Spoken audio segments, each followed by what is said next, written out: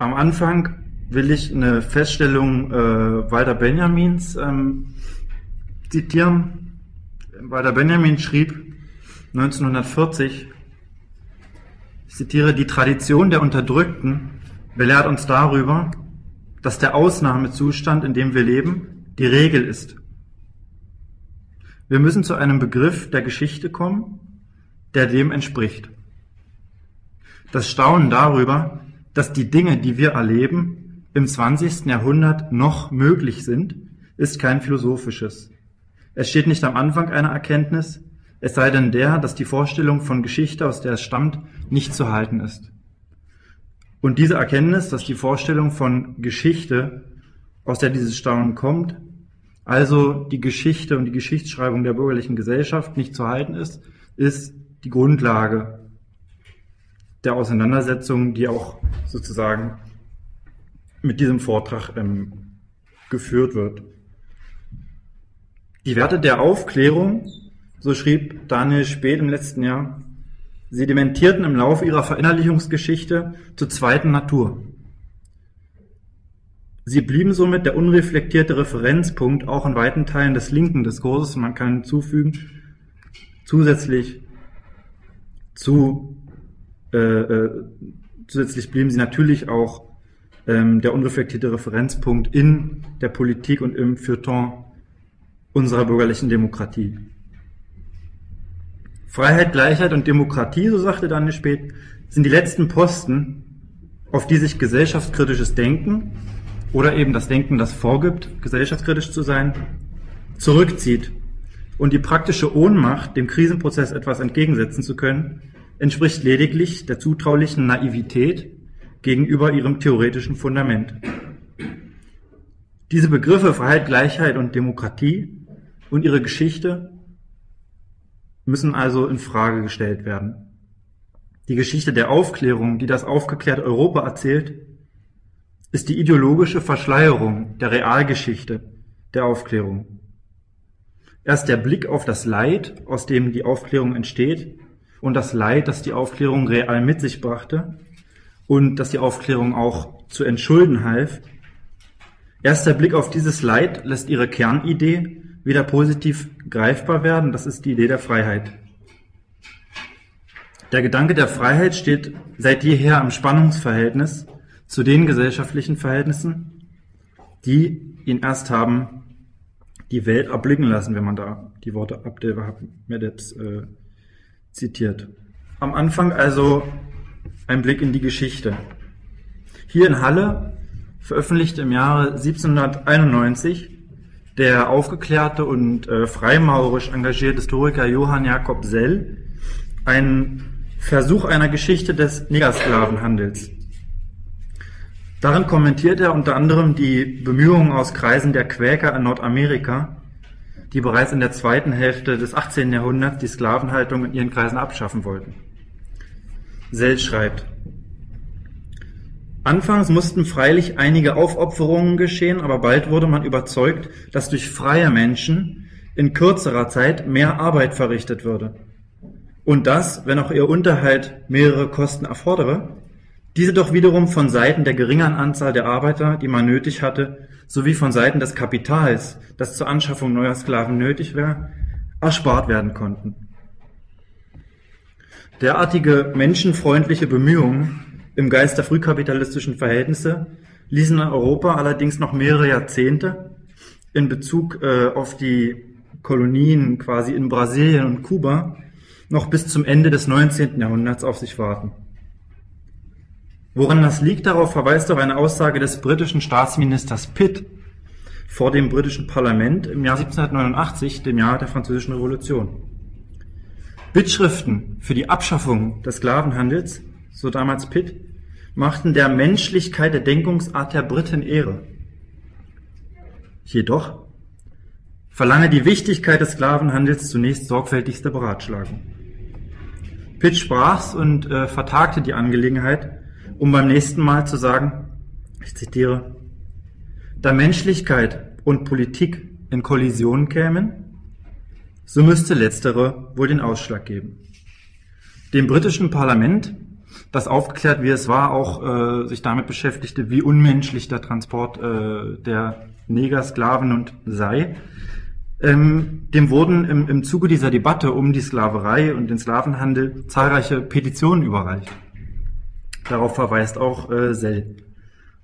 Und zwar eine Bittschrift für den Erhalt des Sklavenhandels vom Magistrate und der ganzen Korporation der reichen Stadt Liverpool, eine andere von den Kaufleuten und Schiffseigentümern der Stadt, eine von vielen Manchester-Manufakturisten, eine von den Advokaten in Glasgow, eine von den Hypothekenbesitzern, den Gläubigern der Zuckerplantagen, des Weiteren acht Bittschriften von den Hypothekenbesitzern des Sklavenhandels, von den nach Afrika handelnden Kaufleuten, von vielen Fabrikanten in Eisen, Kupfer und Messing, zusätzlich von den Sägemachern, Seilern, Tischlern, Fassbindern, Büchsenschmieden und Schiffszimmerleuten.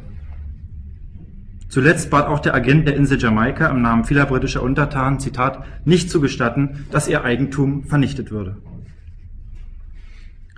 Man sieht hier ein gutes Beispiel dafür, dass weite Teile der Produktion der Wirtschaft in Europa unmittelbar auf der Sklavenarbeit und dem Import aus den Sklavenkolonien beruhten.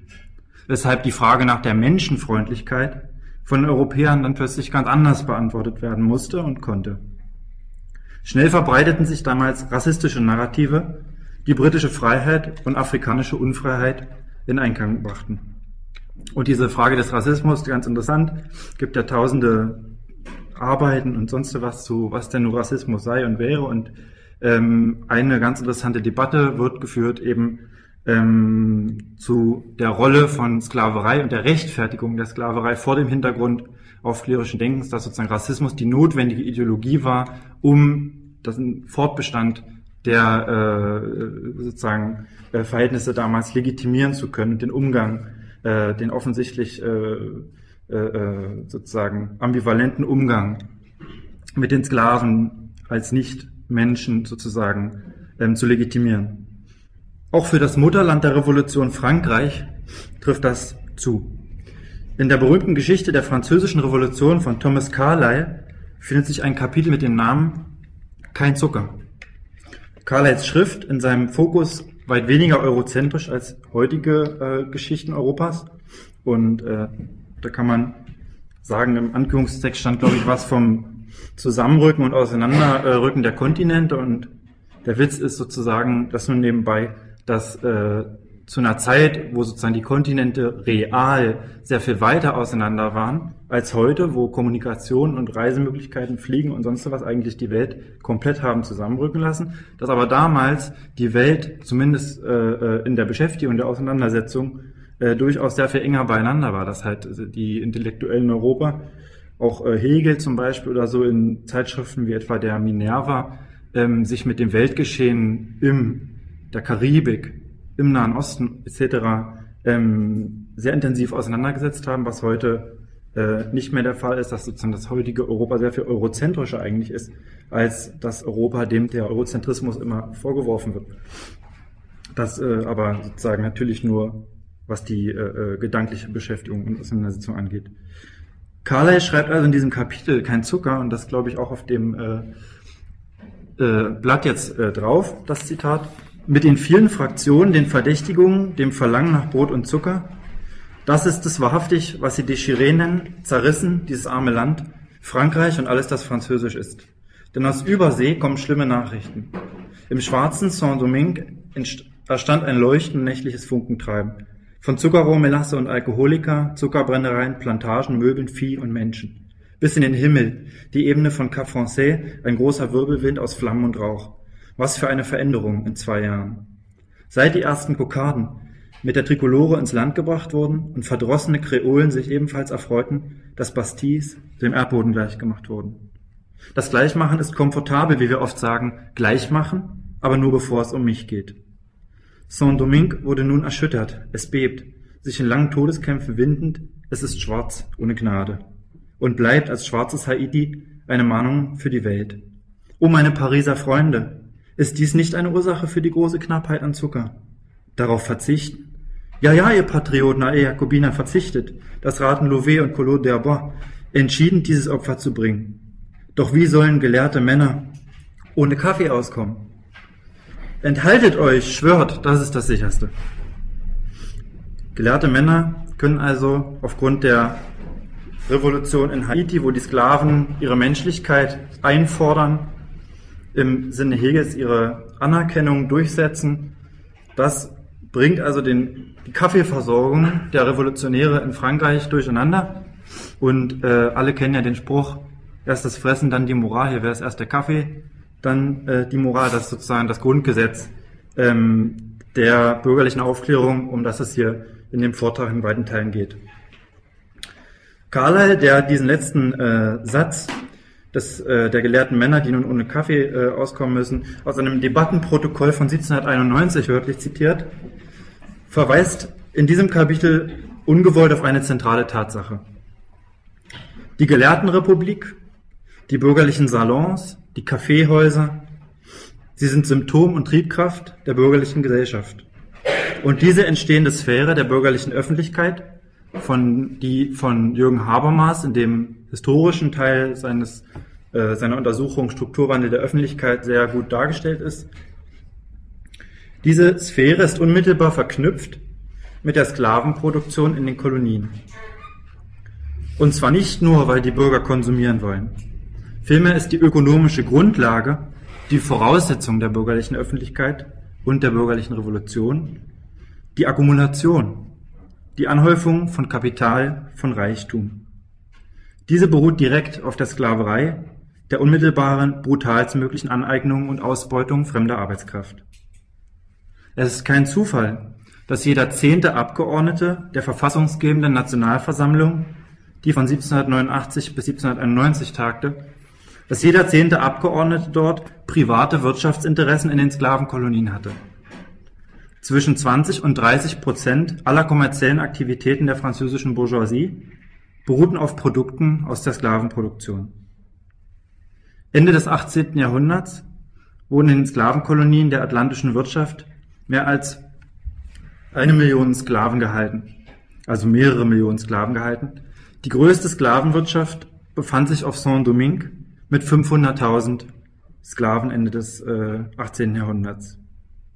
Durch die harte Arbeit und die brutalen Körperstrafen bei Faulheit und schlechtem Benehmen wurden jährlich Zehntausende Sklaven umgebracht, um die Produkt Produktivitätsrate von Saint-Domingue zu halten, importierte man allein dort jährlich 50.000 neue Sklaven.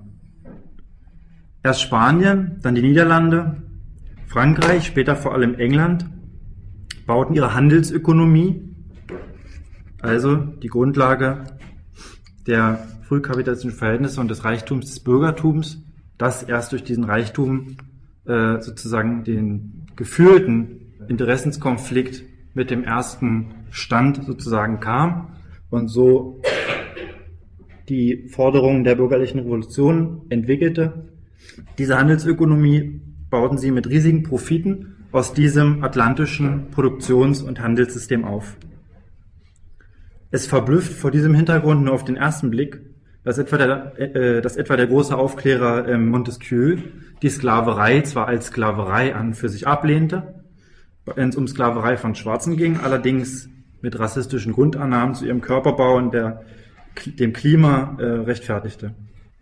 In der idealistischen europäischen Geschichtsschreibung von Ideen und ihren Wirkungen wird nicht erwähnt, dass er, Montesquieu, auch der Vater der Lehre von Handel und Kommerz war. Rousseau der die Menschheit in Ketten sah und sie aus der Sklaverei befreit sehen wollte, erwähnte die alltäglich wahrnehmbare reale Sklaverei mit keinem Satz. Der berühmte John Locke war Teilhaber der Royal African Company und gehörte in Carolina dem Rat für Handel und Plantagen an. In der von John Locke entworfenen Verfassung heißt es, Zitat, jeder freie Bürger soll absolute Macht und Autorität über seine Negersklaven haben. Der Ursprung der Sklaverei erscheint hier bei ihm ebenso unhinterfragt naturalisiert wie der von Privateigentum und Freiheit. In der berühmten Enzyklopädie von Diderot und d'Alembert, dem Monumentalwerk der europäischen Aufklärung, geht es in mehreren Einträgen um die Sklaverei. Im Eintrag Sklaverei wird diese äh, kritisiert, im Eintrag Neger wiederum vermerkt, ihre Arbeit sei da unentbehrlich für die Kultivierung von Zucker, Tabak, Indigo etc. Im Eintrag Natürliche Freiheit wird konstatiert, dass die Versklavung der Afrikaner nicht mit christlicher Lehre vereinbar sei. Es werde aber grundsätzlich an ihr festgehalten, da man sie für die Arbeit auf Plantagen und in Bergwerken benötige. Der Außenhandel war Ende des 18. Jahrhunderts Basis für bis zu 25 Prozent der industriellen Produktion in Frankreich und bis zu 7 Prozent allen wirtschaftlichen Wachstums. So ist es eigentlich wenig verblüffend, wenn ein Deputierter aus Nantes damals bemerkte, Zitat, Kommerz, der koloniale Handel, ist zu einem derart beachtlichen Gegenstand geworden, dass man meinen könnte, es ist der Hauptarm des gesamten Handelsverkehrs des Reiches, ja, könnte gar seine Wurzel sein. Die französische Nationalversammlung schaffte dementsprechend die Sklaverei auch nie ab. Genauso wie Besitzlose oder Frauen nie die Bürgerrechte erhielten. Doch Ideen sind grundsätzlich in dem Sinne universell, dass jeder, der von ihnen erfährt, von sich aus über sie nachdenkt.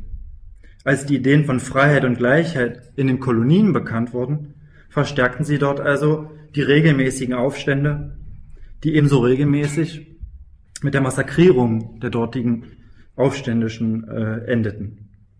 Auch in Saint-Domingue kam es zu mehreren Aufständen. Nach langen Diskussionen und Debatten auf Druck äh, mulattischer Plantagen- und Sklavenbesitzer beschloss die Nationalversammlung schließlich, diesen das Bürgerrecht zu verleihen. Schließlich waren die sogenannten Mulatten Nachkommen weißer Kolonialherren, die zumeist großen Besitz angehäuft und Plantagen mit zahlreichen Sklaven besaßen. Sie waren meist den weißen Plantagenbesitzern in Bezug auf den Besitz ebenbürtig. Sie waren unzufrieden und forderten angesichts ihrer realen ökonomischen Macht mehr politische Rechte ein. Und das ist ja die gleiche Konstellation wie die zwischen europäischem Bürgertum und erstem Stand am Vorabend der äh, französischen oder der bürgerlichen äh, Revolution. Doch die Weißen wollten ihr Privilegium damals nicht verlieren. Sie verweigerten die Umsetzung dieser Gleichstellung einer absoluten Minderheit der nicht weißen Bevölkerung. Es kam zu weiteren Konflikten und Aufständen und als schließlich Spanien und England diese Lage ausnutzten und Saint-Domingue okkupieren wollten, zur Freude der Plantagenbesitzer, die sich durch verschiedene Ideen aus Frankreich äh, äh, bedroht sahen, sahen sich die französischen Kommissare erst in dieser Situation der außenpolitischen äh, konkreten Bedrohung gezwungen, einen drastischen Schritt zu gehen, nämlich sie boten allen Sklaven die Freiheit an, wenn sie auf der Seite Frankreichs gegen England und Spanien kämpfen würden. Die plötzliche Herstellung quasi europäischer kapitalistischer Verhältnisse war jedoch, wie man sich denken kann, keine tatsächliche Befreiung. Denn da die Besitzverhältnisse unangetastet blieben, trieben Hunger und Armut auf der Insel alle Sklaven zurück in die Plantagen, wo sie nun für Hungerlöhne schuften mussten und nun zwar nicht mehr totgeschlagen werden konnten, aber in den Hungertod entlassen werden konnten.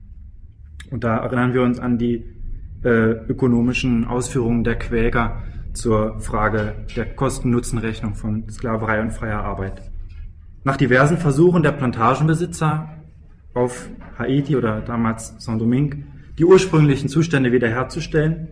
Schließlich nach der Invasion der napoleonischen Revolutionstruppen, die die Sklaverei wieder einführen wollten, kam es wiederum zu Kämpfen, zu blutigen Kämpfen, in deren Folge schließlich äh, großer Teil des Revolutionsheeres äh, durch Krankheiten weggerafft wurde und daraufhin äh, die aufständischen Sklaven den Sieg davon trugen, alle Weißen auf der Insel, die nicht äh, geflohen waren, umgebracht äh, haben.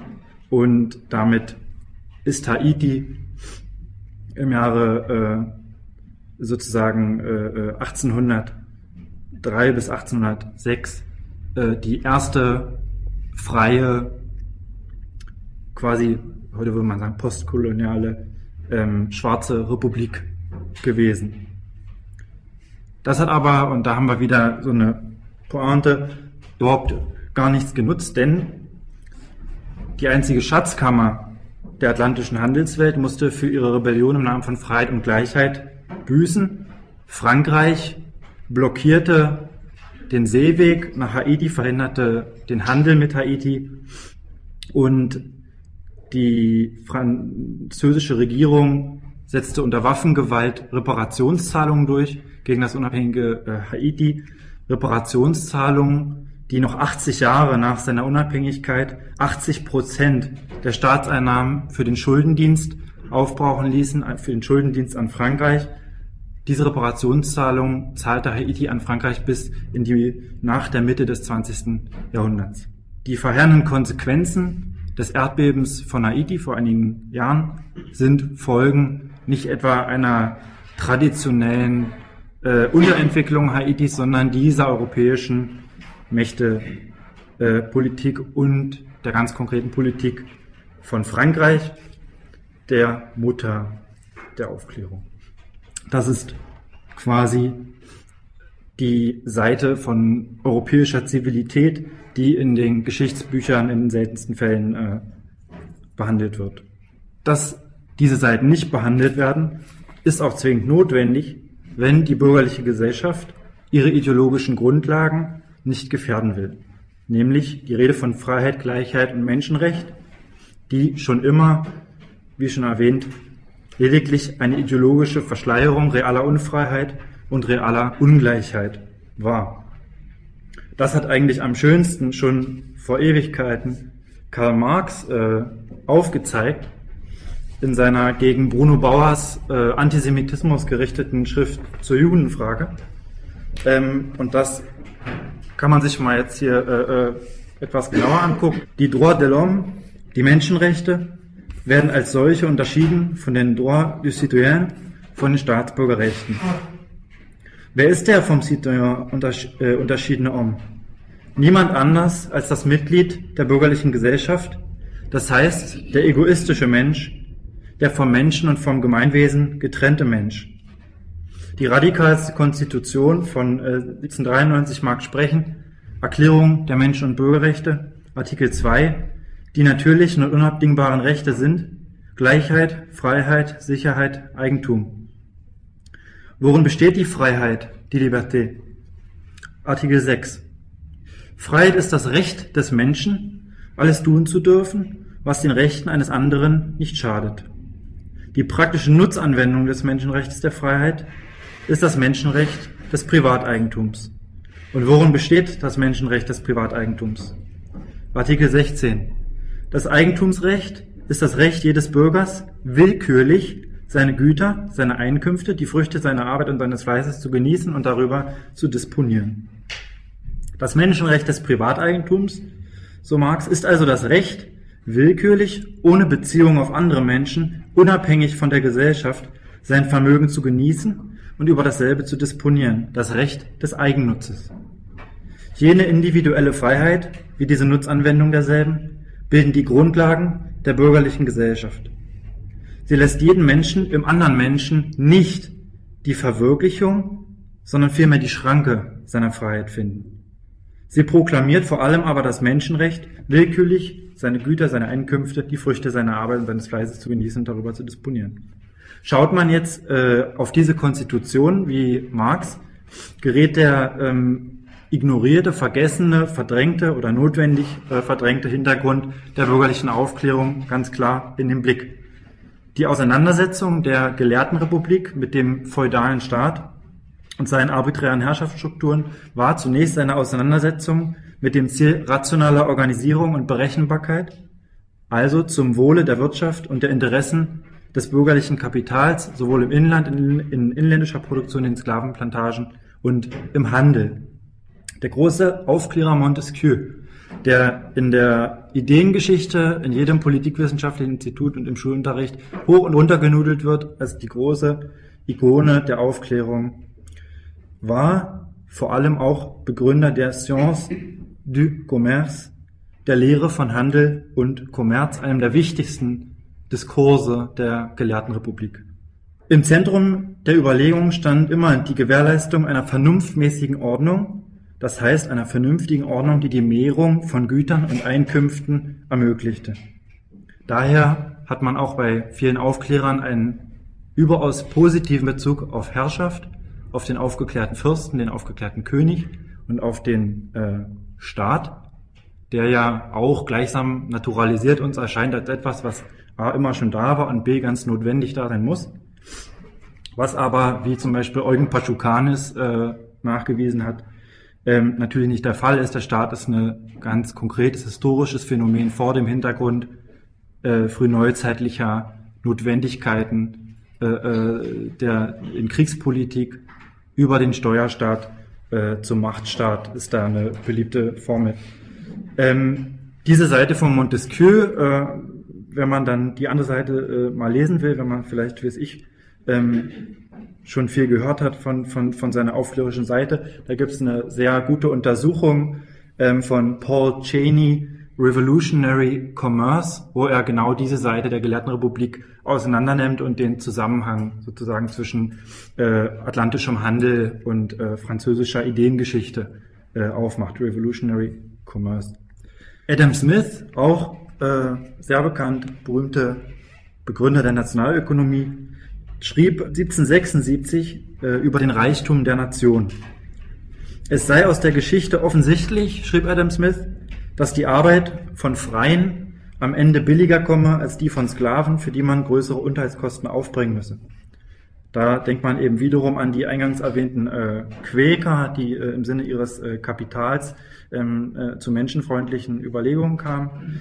Äh, was eine sehr interessante Sache ist, ist, dass in den 1830er Jahren, als ähm, Großbritannien Sklavenhandel und äh, Sklavenwirtschaft ähm, sozusagen beendete, daraus ausstieg, äh, zur gleichen Zeit entstand in Großbritannien ähm, der Arbeitsdiskurs, der sich ganz konkret äh, auch in einer neuen Arbeitspolitik, in neuen Arbeitsgesetzen ähm, äh, niederschlug. Ähm, Arbeitsgesetzen, die dafür sorgten, dass Arbeitsunwillige äh, oder Müßiggänger, in dem Sinne Arbeitslose, ähm, in Arbeitshäuser eingewiesen äh, werden müssten, wo sie Zwangsarbeit ähm, zu verrichten hätten zum Wohle ähm, der Gesellschaft. Friedrich Engels hat ja auch schon zu der äh, damals ähm, in der Schrift über die Lage der äh, äh, Arbeiter in England ähm, sich mit der Situation da auch auseinandergesetzt. Ähm, die totale Verarmung des äh, massenhaft damals entstandenen Proletariats und eben dieser Arbeitszwang äh, der Auftritt in Europa in dem Moment, wo man aus der Sklaverei äh, aussteigt, ist sicherlich eine Sache, ähm, der äh, weitere, äh, weiteres Nachdenken äh, bei jedem auslösen äh, muss. Denn das könnte man meinen, ist eben der Geist des äh, Kapitalismus. Wenn man dann äh, wie hier so eine polemische Spitze auf heute machen will, kann man sich angucken der Debatte, die geführt wird über Hartz IV und die damit verbundenen Maßnahmen äh, von Seiten bürgerlicher Politiker. Ähm, doch zurück äh, zu dem Text von Marx noch, den zweiten Teil, ähm, der auf dem Blatt ist. Ähm, er schreibt Artikel 3, äh, zitiert er aus der Verfassung von 95, 1795. Die Gleichheit besteht darin, dass das gleiche Gesetz für alle gilt, ganz gleich, ob es beschützt oder straft. Artikel 8. Die Sicherheit besteht in dem Schutz den die Gesellschaft jedem ihrer Mitglieder gewährt für die Erhaltung seiner Person, seiner Rechte und seines Eigentums. Die Sicherheit, so Marx, ist der höchste soziale Begriff der bürgerlichen Gesellschaft, der Begriff der Polizei, dass die ganze Gesellschaft nur da ist, um jedem ihrer Glieder die Erhaltung seiner Person, seiner Rechte und seines Eigentums zu garantieren. Durch den Begriff der Sicherheit, so schreibt er, erhebt sich die bürgerliche Gesellschaft nicht über ihren Egoismus, die Sicherheit ist die Versicherung ihres Egoismus. Die Gesellschaft besteht also nur sozusagen äh, äh, zum Zwecke der Gewährleistung der egoistischen Interessen des Einzelnen. Das einzige Band, das sie zusammenhält, sagt Marx, ist die Naturnotwendigkeit, das Bedürfnis und das Privatinteresse, die Konservation ihres Eigentums und ihrer egoistischen äh, Person. Der Hintergrund, auf den man jetzt hier nicht eingehen kann, ist, äh, worauf Marx auch verweist, kann man auch nachlesen, gibt's alles im, im Internet, die ganzen Werke da äh, in dieser Schrift, ähm, wo er darauf verweist, dass natürlich der, der historische Hintergrund davon ist, dass hier ähm, sozusagen in der bürgerlichen äh, äh, Ideologie, die wir hier finden, auch in diesen Konstitutionen, sich einfach nur ähm, eine Naturalisierung der bereits historisch vorgefundenen Verhältnisse findet, nämlich der Verhältnisse der Feudalgesellschaft, wo die Stellung des Einzelnen und der Bezug des Einzelnen äh, auf Gesellschaft, aufs Staatsleben äh, davon bestimmt war, äh, äh, sozusagen, was seine äh, äh, Arbeitsweise war und was für Besitz er hatte. Also Feudalgesellschaft mit Grundherrlichkeit, Korporation, Ständen ähm, Zünften und, und so weiter. Das äh, sagt eben Marx wird durch die politische Revolution nur in seine Bestandteile aufgelöst. Diese Bestandteile selbst werden eben nicht revolutioniert und der Kritik unterworfen, nämlich die Bestandteile, nämlich die bürgerliche Gesellschaft, die ja schon vor der Revolution da war und nach der Revolution sich nur ihre eigene Verfassung gibt. Genau diese Naturalisierung, um die es geht und die bis heute sozusagen das Denken auch und die Selbstdarstellung der Verhältnisse, die Selbstdarstellung der bürgerlichen Demokratie äh, anleitet, findet sich eben schon bei äh, Kant, dem großen äh, Aufklärer. Zitat, die ersten Bedürfnisse des Lebens, deren Anschaffung eine verschiedene Lebensart äh, erfordert, konnten nun gegeneinander vertauscht werden. Hier spricht er also vom Tausch, von der kapitalistischen Warenzirkulation ähm, und macht daraus den Beginn jeglicher, äh, äh, jeglichen ähm, gesellschaftlichen Lebens, er sagt, daraus musste Kultur entspringen und der Anfang der Kunst, des Zeitvertreibes, sowohl als des Fleißes, was aber das Vornehmste ist, auch einige Anstalt zur bürgerlichen Verfassung und öffentlicher Gerechtigkeit und so weiter, der Staat, ähm, sozusagen die gesetzmäßige Macht, die das zusammenhielt, das ist eine Art von Regierung überlassen äh, äh war, über welche selbst keine Ausübung der Gewalt ähm, stattfand. Das Vornehmste, von dem Kant hier spricht, das Vernünftige, ist also die bürgerliche Ordnung, zum Zwecke der Gewährleistung der Warenzirkulation, des egoistischen Strebens äh, und so weiter, was wir äh, angesprochen haben schon, und der Akkumulation. Der erwähnte Daniel Speth brachte es äh, auf den Punkt, Zitat, Gesellschaftlichkeit und Menschsein an sich erschöpft sich in der Sphäre der Warendistribution und der vertraglich organisierten Interaktion der Menschen zum Zwecke der Warendistribution. Deutlich äh, wird das auch in der vielleicht berühmtesten Schrift, die liest jeder in der Schule oder zumindest irgendwo Geschichtsneues, Geschichtsstudium, sonst so was. Äh, Beantwortung der Frage, was ist Aufklärung? Auch von, äh, von Kant. Und da schreibt er auch ganz interessant, und das ist eigentlich der Kern äh, äh des Pudels, ähm, zu dieser Aufklärung aber wird nichts erfordert als Freiheit, und zwar die unschädlichste unter allem, was nur Freiheit heißen mag, nämlich die, von seiner Vernunft in allen Stücken öffentlichen Gebrauch zu machen. Also wenigstens dieser Satz ist sicherlich äh, sozusagen in, in, findet sich in jedem zweiten Poesiealbum. Nun höre ich aber von allen Seiten rufen, sagt Kant. Resoniert nicht. Der Offizier sagt, resoniert nicht, sondern exerziert. Der Finanzrat resoniert nicht, sondern bezahlt. Der Geistliche resoniert nicht, sondern glaubt. Hier ist überall Einschränkung der Freiheit. Welche Einschränkung ist aber der Aufklärung hinderlich? Welche nicht? Ihr gar wohl beförderlich? Ich antworte, der öffentliche Gebrauch seiner Vernunft muss jederzeit frei sein und der allein kann Aufklärung unter Menschen zustande bringen. Der Privatgebrauch derselben aber darf öfters sehr enge eingeschränkt sein, ohne doch darum den Fortschritt der Aufklärung sonderlich zu hindern. Da muss man sich jetzt auf der Zunge mal zergehen lassen. Ähm, was ist also äh, die Vernunft ähm, für Kant? Für Kant ist sie also dem öffentlichen Gebrauch vorbehalten, der private Bereich. Und was ist der private Bereich, von dem er spricht? Nämlich der Bereich des Bürgers, desjenigen, der Privatbesitzer ist, des Bourgeois. Dieser Bereich, also der konkrete äh, wirtschaftliche Bereich, der ja auch der gesellschaftliche Bereich eben äh, äh, ist, wie wir sehen, oder den bestimmt, dieser Bereich ist ihr nicht unterworfen, darf aber öfters sehr eng eingeschränkt sein. Dieser Bereich ist nämlich lediglich die Voraussetzung der Öffentlichkeit und des aufgeklärten Diskurses, der aufgeklärten Debatte. Sie beruht auf der bürgerlichen Gesellschaft und auf der Tatsache, dass der Bourgeois Bourgeois ist und der Privatbesitzer Privatbesitzer. Die Öffentlichkeit, die Meinungsfreiheit und so weiter haben also die kapitalistische Warenform und die Arbeitsteilung zu ihrer Voraussetzung. Ihre eigene Grundlage können Sie selbstverständlich nicht in Frage stellen. Vernunft wird den Aufklärern hier in diesem Punkt also eigentlich von Beginn an eben zur praktischen Vernunft, zur instrumentellen. Genau das thematisiert Christa Wolf in ihrem Werk Kein Ort nirgends. Heinrich von Kleist, das Setting sozusagen ist ein historisches vor dem Hintergrund genau dieser Zeit, über die wir auch gerade reden, Jahrhundertwende 1800, Heinrich von Kleist stellt äh, dort in Kein Ort nirgends die Frage, wozu denn Ideen auf der Welt sind, wenn nicht um verwirklicht zu werden. Das heißt, er fragt nach der tatsächlichen äh, Wirkmacht der aufklärerischen Idee. Den preußischen Historiker und Juristen Savini lässt Christa Wolf über Kleist dann Folgendes sagen. Zitat. Er will und will es mir nicht abnehmen, dass es wohltätig eingerichtet ist, wenn das Reich der Gedanken von dem Reich der Taten fein säuberlich getrennt bleibt. Worin da die Wohltat liegt, wird er fragen, und ich sage ihm, die Wohltat liegt in der Gedankenfreiheit, die wir dieser weisen Einrichtung schulden. Oder wollt ihr es wirklich nicht sehen, welche Einschränkung auf allem Denken läge, wenn wir fürchten müssten, unsere Fantasien könnten in die wirklichen Verhältnisse Eingang finden? Um Himmels willen, nein. Dass man die Philosophie nicht beim Wort nehmen, das Leben am Ideal nicht messen soll, das ist Gesetz. Es ist das Gesetz der Gesetze, Kleist, auf dem unsere menschlichen Einrichtungen in ihrer notwendigen Gebrechlichkeit beruhen. Wer dagegen aufsteht, muss zum Verbrecher werden oder zum Wahnsinnigen.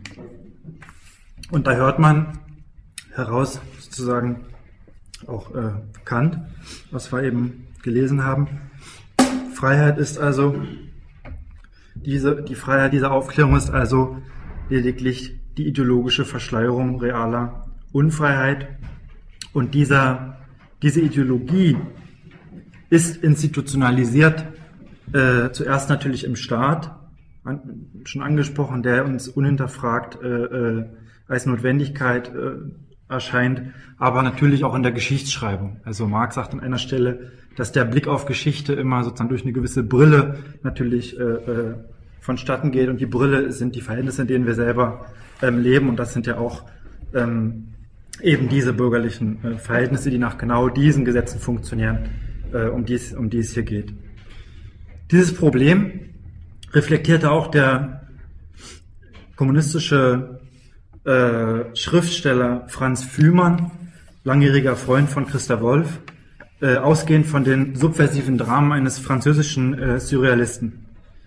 Die Ubu-Dramen von Alfred Jarry der Ende des 19. Jahrhunderts die bürgerlich-kapitalistischen Verhältnisse in Frankreich äh, auf seine surrealistische, wenn man so eine Kategorie benutzen will, Art und Weise karikierte.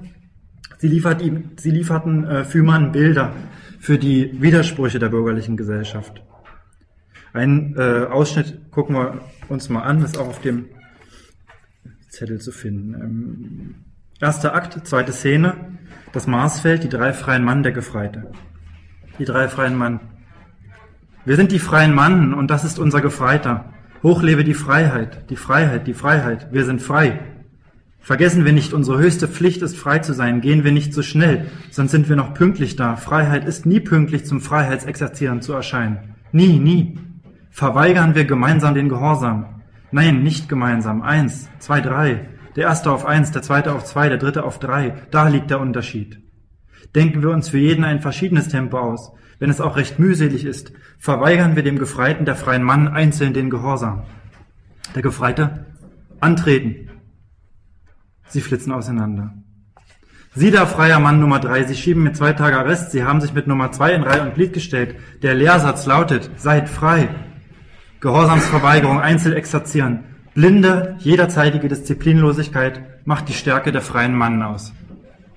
Und wenn man blinde, jederzeitige Disziplinlosigkeit in diesem Kontext hört, dann muss ich immer an Flexibilität denken, die jetzt zu den Soft Skills oder den Hard Skills oder was auch immer bei jeder Bewerbung äh, gehört. Das ist, denke ich, schon was, was hier durchaus antizipiert ist. Fühlmann als Kommunist eben, wie auch Christa Wolf, äh, ein scharfer Kritiker der autoritären Führung der DDR, nebenbei schreibt zu dieser Szene, ich zitiere, auf dem Exerzierplatz beim gemeinsamen Ungehorsam stoßen sie auf den Gefreiten. So begegnen einander zwei kontradiktorische Kräfte, die sich gegenseitig logisch aufheben müssten. Doch da sie einander nicht im Raum des Gedachten, sondern leibhaftig als Personen begegnen, entsteht eine absurde Situation. Was logisch nicht sein kann, ist real da. Jarry benutzt die absurde Szene, eine Phrase ad absurdum zu führen.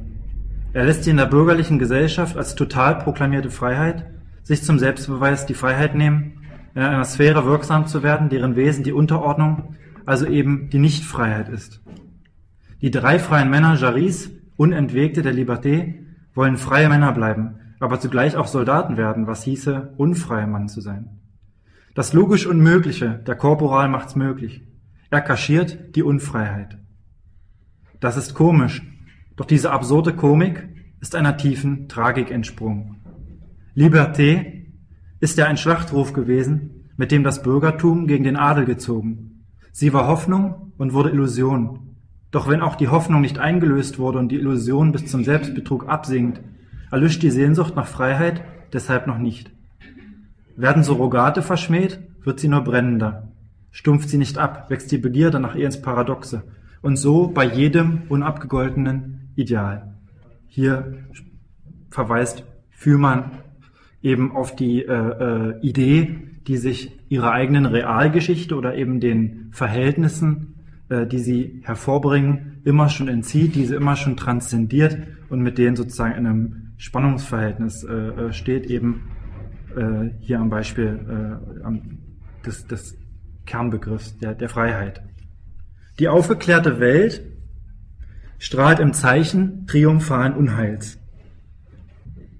Dieser Satz steht äh, am Anfang der Dialektik der Aufklärung von Horkheimer und Adorno, verweist darauf, dass eben die Katastrophe der nationalsozialistischen Vernichtung die Menschlichkeit oder äh, den Menschen und die Idee von ihm eigentlich gänzlich in Frage stellt. Der Wunsch nach einer besseren Gesellschaft, nach Revolution, endete zudem in der Sowjetunion im Terror der nachholenden Entwicklung und in der Ermordung von Kommunisten im Namen des Kommunismus.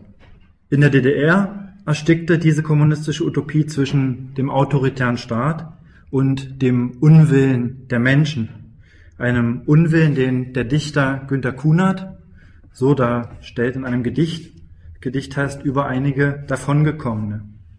Das ist relativ zeitig nach dem Ende des Zweiten Weltkriegs äh, entstanden.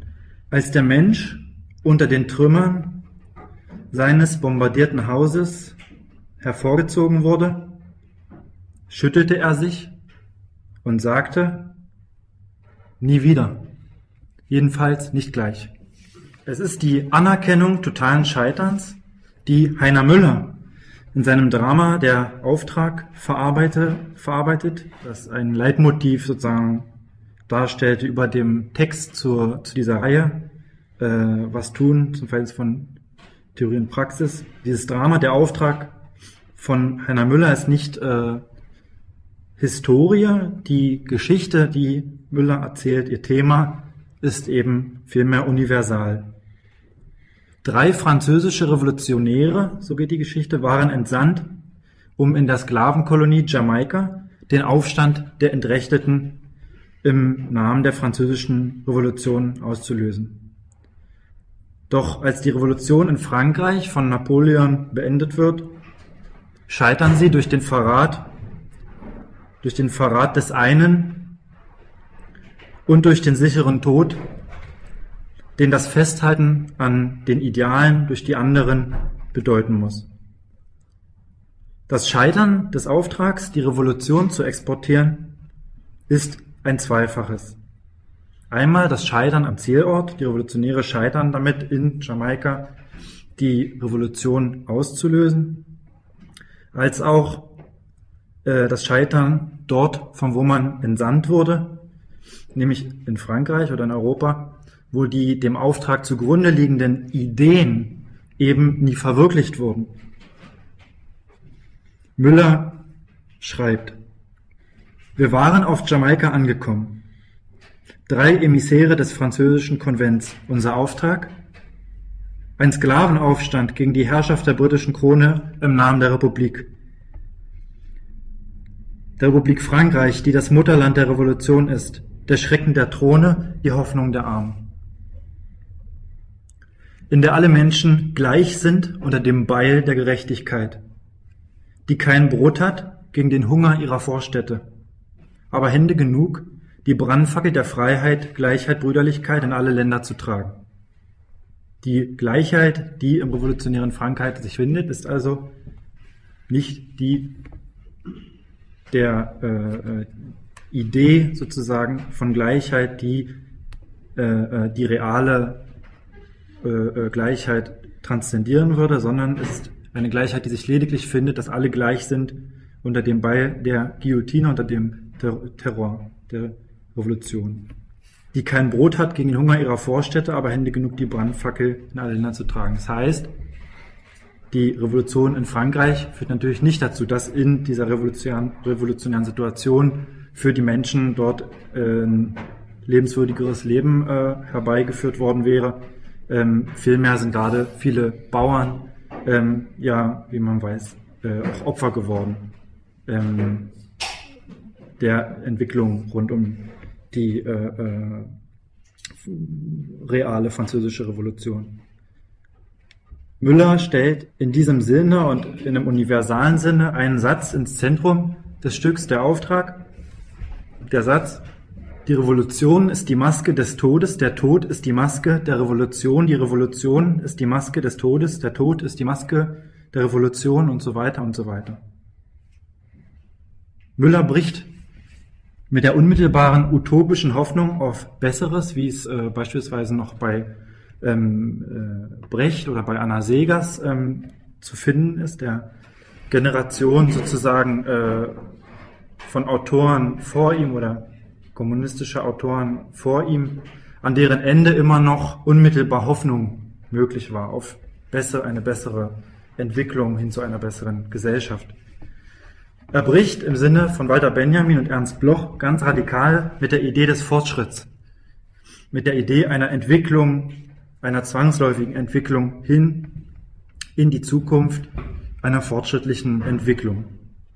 Die Idee des Fortschritts, so sieht auch er von der Aufklärung in die Welt gebracht, war Triebkraft des Unheils und auch des Terrors äh, insbesondere auch im 20. Ähm, Jahrhundert. Die Linke, deren Aufgabe es eigentlich gewesen wäre, den Auftrag, um den es hier geht, anzunehmen, wurde vergiftet von dieser Idee des Fortschritts, wie sie etwa ähm, Kautsky äh, verbreitet hat. Die Sozialdemokratie und auch Sozialisten, sie handelten nicht mehr utopisch, sondern sie handelten eben im Bann instrumenteller Vernunft. Die Menschen mussten dem Entwicklungsgesetz der Geschichte dienen. Sie wurden also selbst zum Mittel, zum Werkzeug, oft genug mit physischer Gewalt objektiviert. Es ging also nicht mehr äh, um, um den Menschen. Der Mensch war selbst nur noch das Objekt. Der Philosoph und utopische Kommunist Ernst Bloch verweist auf die entzaubernde Wirkung und die Problematik, die dahinter steckt, des mechanischen äh, Materialismus äh, der Antike, der Renaissance, der Neuzeit. Nimmt man Galilei oder Newton oder so. Bloch sieht hier eine Brechstange. Im Kern der Ausruf, es ist nichts als. Aufklärung enttonte mit diesem Ruf, es ist nichts als, die Mythen, die Religion, letztlich auch den Menschen. Die Naturgesetze, mechanische Bewegungen, das Kommende, alles war irgendwie berechenbar. Bloch betont nun vor diesem Hintergrund, dass nur durch das subjektive Handeln des revolutionären Menschen vor dem Hintergrund der Geschichte gute Dinge befördert und schlechte Dinge gehindert werden könnten. Der Materialismus ohne die Utopie ist für Bloch unmenschlich. Denn was ist der Mensch sonst? Nichts als ein Stück Fleisch. Und das kann nützlich sein oder unnütz. Es ist eine Ironie der Geschichte. Die Vorwürfe der DDR-Obrigkeit 1957 gegen die Kommunisten Wolfgang Harich, Walter Janka und indirekt auch gegen Ernst Bloch lauteten Überbetonung des subjektiven Faktors und Utopismus. Die Frage, die Heiner Müller ebenso wie Christa Wolf oder Fühmann äh, stellen, ebenso wie Ernst Bloch, der dann in die DDR ausreist, äh, in die BRD ausreiste, vor dem Hintergrund dieser Repression des, der autoritären Führung. Ähm, und ebenso auch die Vertreter der kritischen Theorie, die schon erwähnten, Horkheimer, Adorno oder Marcuse. Für sie alle geht es eigentlich nur um die Frage nach der Möglichkeit von Utopie. Kann es denn noch Hoffnung geben angesichts des Scheiterns, angesichts des Scheiterns auch aller Revolutionen, angesichts der Barbarei, in die die Geschichte des aufgeklärten Europas mündete, Angesichts der totalen Verstrickung des Einzelnen in die Gesetze der kapitalistischen Wertvergesellschaftung, angesichts des Menschen als Objekt in einer unmenschlich rationalisierten Welt. Die Menschenrechte stehen im Zentrum unseres politischen Diskurses.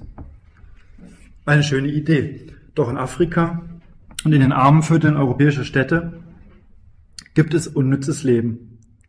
Und, wie schon erwähnt, ist die Entwicklung, äh, die nach dem Ende der Mächtekonkurrenz hier in Deutschland äh, stattfindet im Moment und auch vom Hintergrund der Krise, Griechenland und so weiter, die Debatte über Hartz IV auch schon sehr äh, weit auf dem Weg dahin, ähm, dass ganz offen schon nicht mehr nur außerhalb Europas oder außerhalb Deutschlands ähm, die Idee der Menschenrechte ganz klar als, als, als Lüge und als Ideologie zu entlarven, sondern schon hier wenn man sich anguckt, dass zum Beispiel das Abgeben eines Antrags auf Hartz IV mit der Abgabe von Bürgerrechten äh, über äh, äh, einstimmt. Das heißt, bestimmte Bürgerrechte momentan aufgehoben sind für Leute, die in Deutschland äh, ins Sozialsystem ähm, in der Form aufgenommen sind. Da wird das dann alles auch hier ähm, lang, langsam konkreter. Im realen Leben muss eben die Menschenfreundlichkeit, um die es schon öfter, um die es öfters äh, ging hier in verschiedenen Zitaten, die muss hinter der Politik, hinter den Sachzwängen zurückstehen. Und man erinnert sich da an den Pitt, den Staatssekretär Pitt, der sagte, wenn äh, Menschlichkeit und Politik in Konkurrenz geraten, dann muss die letztere, äh, ja, die letztere wohl den Vorzug äh, kriegen. Man kann sich auch an Kant äh, erinnern, an das Gespräch von Savini mit Kleist, das Christa Wolf äh, vor diesem Hintergrund stattfinden lässt und an das, was wir ähm, uns angeguckt haben, wie Marx die Konstitution, äh, die Erklärung der Menschenrechte auseinandernimmt. Gibt es also noch Utopie im Angesichts der Negation? Heiner Müller, Christa Wolf und Franz Fühmann zum Beispiel, weil wir denen heute so ein bisschen erfolgen, man könnte auch diverse andere sich raussuchen, Sie erlebten die Negation ihrer Utopie des Wunsches eben nach einer besseren Gesellschaft als Kommunisten in der DDR unmittelbar als totale Ohnmachtserfahrung. Ihre Arbeiten sind der Versuch, die Möglichkeit von Utopie, von Hoffnung eben durch diese reale und totale Negation hindurch zu denken. Zu Beginn von Heiner Müllers Drama über den gescheiterten Revolutionsexport im Auftrag tritt der Engel der Verzweiflung auf. Ich bin der Engel der Verzweiflung. Mit meinen Händen teile ich Rausch aus, die Betäubung, das Vergessen, Lust und Qual der Leiber. Meine Rede ist das Schweigen, mein Gesang der Schrei. Im Schatten meiner Flügel wohnt der Schrecken. Meine Hoffnung ist der letzte Atem. Meine Hoffnung ist die erste Schlacht. Ich bin das Messer, mit dem der Tote seinen Sarg aufsprengt. Ich bin der sein wird. Mein Flug ist der Aufstand, mein Himmel der Abgrund von morgen. Christa Wolf beginnt Kein Ort nirgends. Zitat, die arge Spur, in der die Zeit von uns wegläuft. Vorgänger ihr, Blut im Schuh. Blicke aus keinem Auge, Worte aus keinem Mund. Gestalten körperlos. Niedergefahren gen Himmel. Getrennt in entfernten Gräbern, wieder auferstanden von den Toten, immer noch vergebend unseren Schuldigern, traurige Engelsgeduld. Unvermeidlich musste ich, als ich das gelesen habe, äh, an die Geschichtsthesen von Walter Benjamin äh, denken, die er geschrieben hat, kurz bevor er sich umgebracht hat, um nicht den Schergen der äh, Faschisten in Spanien und den Nazis in die Hände zu fallen. Darin schreibt er, in jeder Epoche muss versucht werden, die Überlieferung von Neuem, dem Konformismus abzugewinnen, der im Begriff steht, sie zu überwältigen. Der Messias kommt ja nicht nur als der Erlöser, er kommt als der Überwinder des Antichrist. Nur dem Geschichtsschreiber wohnt die Gabe bei, im Vergangenen den Funken der Hoffnung anzufachen, der davon durchdrungen ist. Auch die Toten werden vor dem Feind, wenn er siegt, nicht sicher sein. Und dieser Feind hat zu siegen nicht aufgehört. Benjamin nutzt hier das Vokabular der Theologie, messianisches Vokabular, um sich gegen den kalten Rationalismus der Aufklärung zu stellen. Er wendet dieses messianische Vokabular allerdings radikal materialistisch. Benjamin spricht äh, in dem Zitat vom überwältigenden Konformismus. Dieser überwältigende Konformismus verschweigt die Geburt der bürgerlichen Aufklärung aus dem materiellen Wohlstand, den Millionen von Sklaven mit ihrem Tod bezahlten, der zusammenhing mit Ausbeutung, der Kolonien, mit der Trennung der Welt in die Gewinner im Zentrum der globalen kapitalistischen Wirtschaft und die Verlierer in der Peripherie der globalen kapitalistischen Wirtschaft mit ihrer Arbeitsteilung. Ein Symbol dafür ist Haiti, was schon ausführlich äh, vorhin erwähnt wurde. Ein anderes sind etwa 1,5 Millionen tote Baumwollarbeiter in Indien.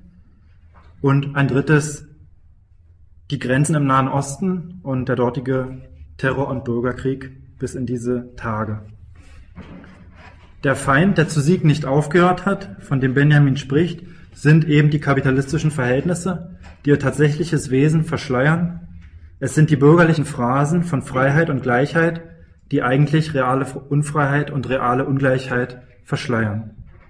Benjamin schreibt, die Beute wird, wie das immer so üblich war, im Triumphzug mitgeführt. Man bezeichnet sie als Kulturgüter. Sie werden im historischen Materialisten mit einem distanzierten Betrachter zu rechnen haben. Denn was er an Kulturgütern überblickt, das ist ihm samt und sonders von einer Abkunft, die er nicht ohne Grauen bedenken kann. Es dankt sein Dasein nicht nur der Mühe der großen Genien, die es geschaffen haben, sondern auch der namenlosen Frohen ihrer Zeitgenossen. Es ist niemals ein Dokument der Kultur, ohne zugleich ein solches der Barbarei zu sein. Und wie es selbst nicht frei ist von Barbarei, so ist es auch der Prozess der Überlieferung nicht, in der es von dem einen an den anderen gefallen ist. Der historische Materialist rückt daher nach Maßgabe des Möglichen von ihr ab. Er betrachtet es als seine Aufgabe, die Geschichte gegen den Strich zu bürsten. Etwas weiter schreibt er. Es gibt ein Bild von Klee, das Angelus Novus heißt. Ein Engel ist darauf dargestellt, der aussieht, als wäre er im Begriff, sich von etwas zu entfernen, worauf er starrt. Seine Augen sind aufgerissen, sein Mund steht offen und seine Flügel sind ausgespannt. Der Engel der Geschichte muss so aussehen. Er hat das Antlitz der Vergangenheit zugewendet. Wo eine Kette von Begebenheiten vor uns erscheint, da sieht er eine einzige Katastrophe, die unablässig Trümmer auf Trümmer häuft und sie ihm vor die Füße schleudert. Er möchte wohl verweilen, die Toten wecken und das Zerschlagene zusammenfügen. Aber ein Sturm weht vom Paradiese her, der sich in seinen Flügeln verfangen hat und so stark ist, dass der Engel sie nicht mehr schließen kann.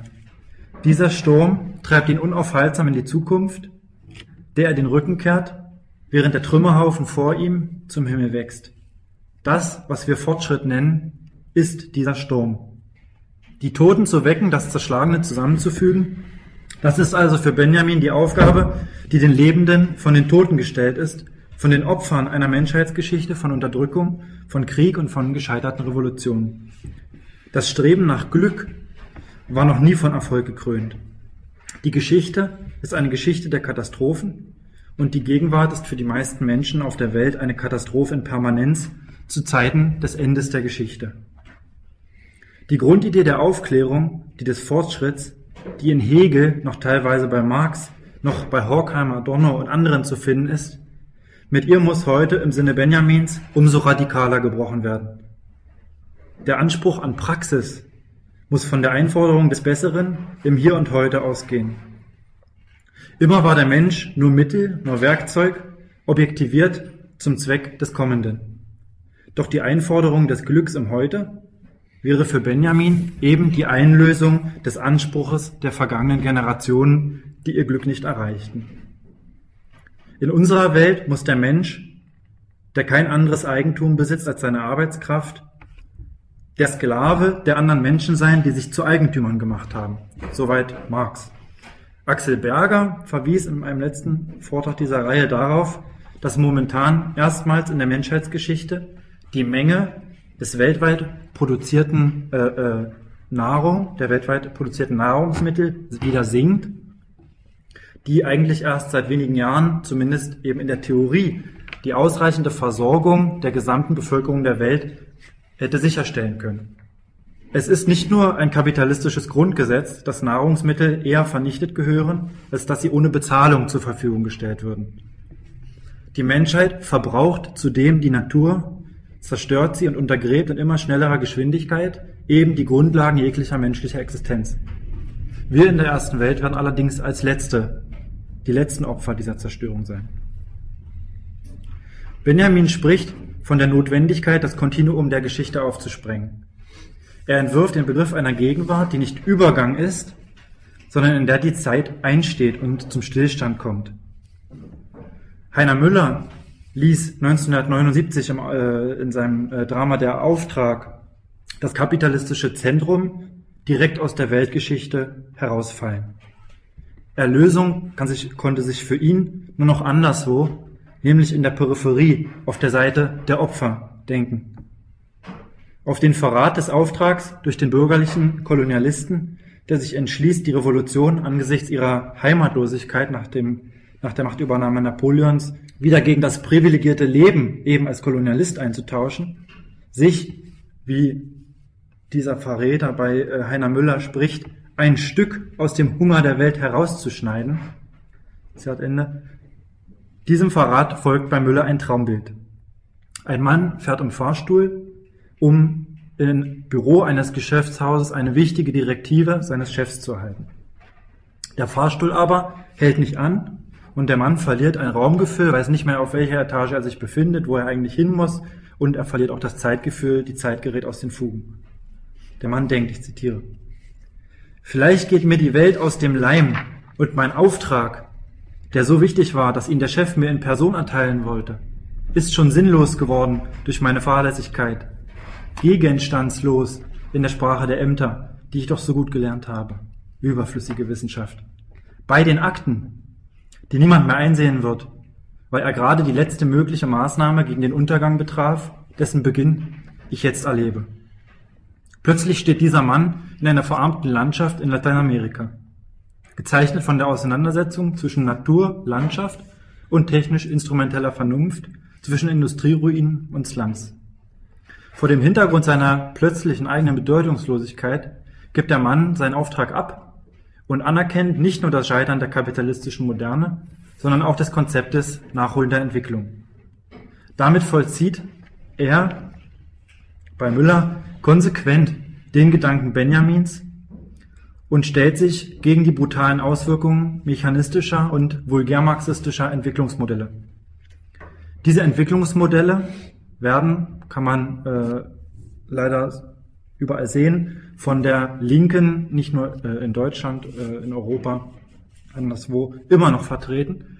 Und zwar sowohl auf der einen Seite von den sogenannten Antiimperialisten, etwa in der Venezuela-Solidarität, die sich dann damit Fabriken etc. Äh, beschäftigen, äh, ihren Infoveranstaltungen, als auch äh, von der post-antideutschen Strömung um die Zeitschrift Bahamas, die auch die, ein vulgärmarxistisches Entwicklungsmodell zur Grundlage ihrer Analyse ähm, des Nahen Ostens und notwendiger kriegerischer Auseinandersetzung mit dortigen Ländern äh, gestellt hat. Doch ähm,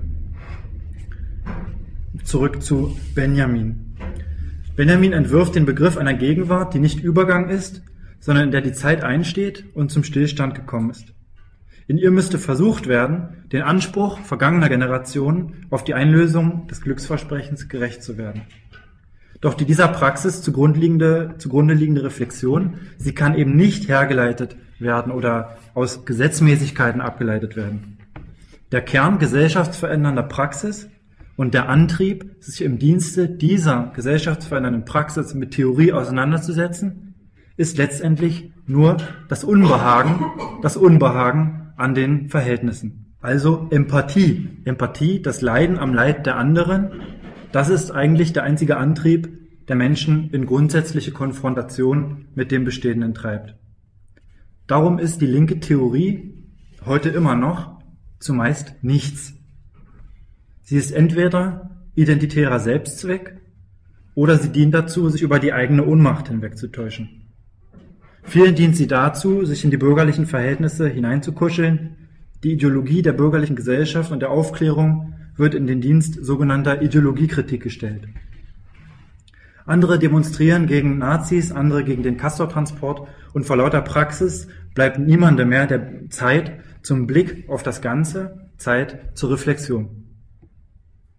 Menschlichkeit und Empathie sind unter diesen Verhältnissen sowieso fragile Mangelware und Menschlichkeit und Empathie sind in der Linken genauso selten zu finden wie im Rest der Bevölkerung.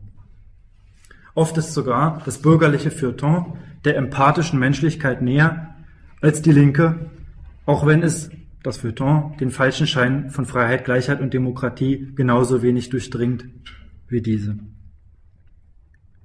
Es geht nicht ohne Theorie und nicht ohne Analyse. Es geht aber eben auch nicht ohne Empathie. Und das heißt, es geht nicht ohne Literatur. Die bürgerliche Gesellschaft, sie beruht eben auf Aufspaltung. Hatten wir schon an verschiedenen Punkten eigentlich äh, gesehen. Auf die Aufspaltung von Subjekt und Objekt, von Idee und Tat, von Wissenschaft und Subjektivität, von Theorie und Praxis. Vor diesem Dilemma stand eben auch die kritische Theorie. Es scheint, es ist die Literatur, die zumindest äh, potenziell, das heißt im Idealfall, eben diese Spaltung überbrücken könnte. Sie würde in diesem Fall Identifikation ermöglichen, Identifikation mit dem Individuum und dadurch mit jedem Menschen. Für nur wenige Beispiele war heute jetzt im Vortrag zwar äh, Zeit, gegen ja eigentlich Fühmann, Christa Wolf, Heiner Müller, ähm, Leute wie Franz Fühmann und Christa Wolf, sie verbinden eben materialistische Geschichtstheorie mit dem zutiefst menschlichen, mit dem innerlichen, mit dem Leiden am Leid anderer und das ist eben Empathie. Letzte Woche äh, sprachen wir in der Diskussion darüber, dass die Bedingung aller Wahrheit für Adorno war, das Leiden beredt werden zu lassen. Das Leiden am Leid der erniedrigten Sklaven, das den Verrat am Auftrag unmöglich machen würde. Bei Müller. Das Leiden Günderodes und Kleists an den gewaltsamen Zwängen der bürgerlich-kapitalistischen Gesellschaft. Bei Wolf. Sie hält sich, so äh, schreibt Wolf eben über Günderode in Kein Ort Nirgends, sie hält sich zurück, hält sich zurück an Zügeln, die ins Fleisch schneiden. Das geht ja, man lebt. Gefährlich wird es, wenn sie sich hinreißen ließe, die Zügel zu lockern, loszugehen und wenn sie dann in heftigstem Lauf gegen jenen Widerstand stieße, den die anderen Wirklichkeit nennen und von dem sie sich, man wird es ihr vorwerfen, nicht den rechten Begriff macht.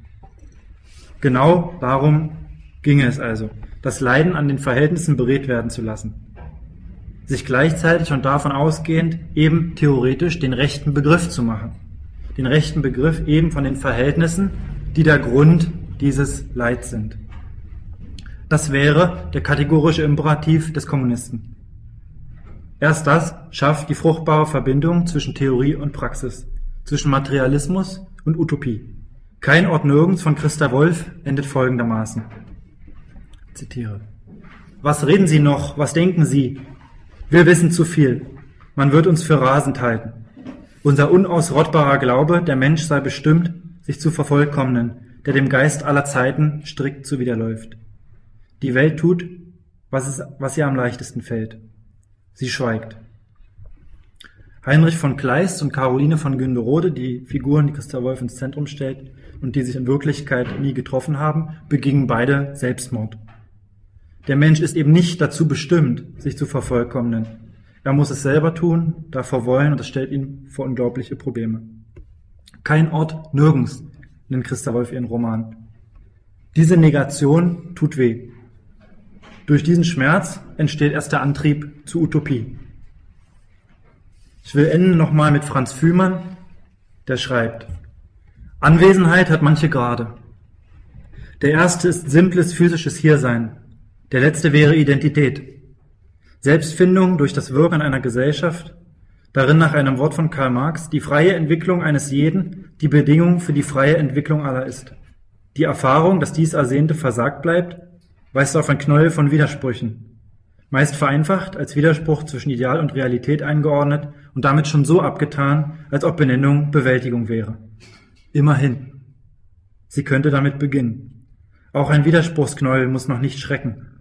Doch dass es so wenig Bewusstsein werden kann, das heißt so wenig artikuliert und der öffentlichen Analyse gestellt werden kann, macht seine Entfaltung so peinsam stockend und gibt uns das quälende Gefühl, dass sie sich unbewältigt vollzieht.